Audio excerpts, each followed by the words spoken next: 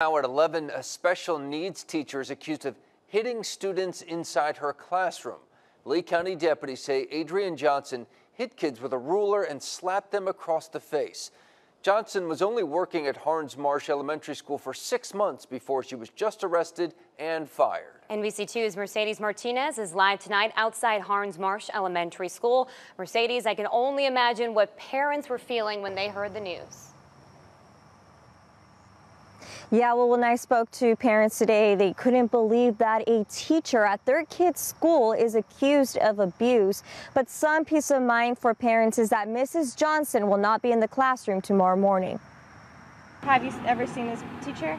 I have not seen her. Up until Wednesday, Adrian Johnson taught students with special needs. I'm glad to see that she's no longer in the school. The Harns Marsh Elementary School principal fired Johnson yesterday after another teacher said they saw her slap a student in the face and in the back.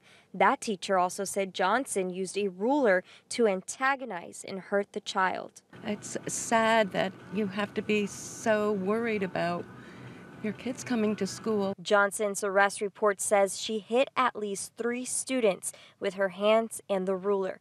The children told detectives they called it the pow pow stick. It's unacceptable, completely unacceptable. Especially, I mean, if you don't touch your kids, you don't want someone else, a stranger, touching your kids. Detectives say one of the victims has behavioral issues and still wears diapers.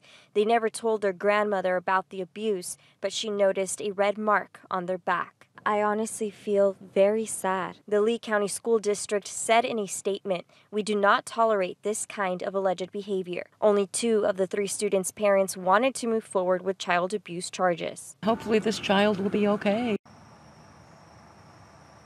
Johnson posted bond and is out of jail tonight. We tried reaching out to her for comments, but she denied. Her first court appearance is May 1st. Live and local in Lehigh Acres tonight, Mercedes Martinez, NBC2.